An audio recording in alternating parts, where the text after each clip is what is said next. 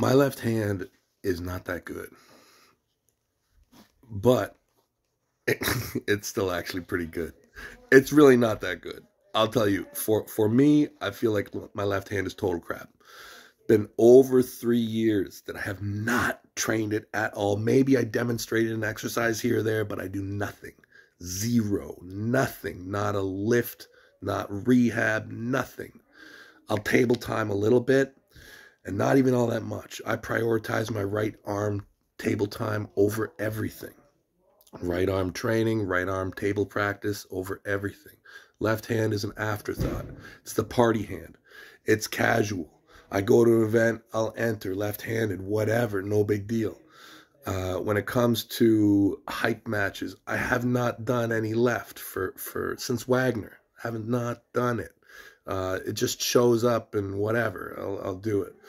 Um, I've struggled because I've been offered matches left-handed, and and I've said I do not want to change the trajectory of this experiment.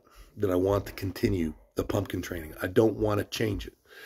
Um, but so long as people understand that I'm bringing a subpar product to the event, I don't mind. I don't mind. But it is the party arm. It is the party hand. It's just here for the party. The crazy thing is, is that I'll still beat people. I'll still beat them. I mean, even people who are really good, I'll still beat them, untrained. well, anyways, we'll see what we'll see what comes up, but I don't want anybody to think I'm the greatest or anything.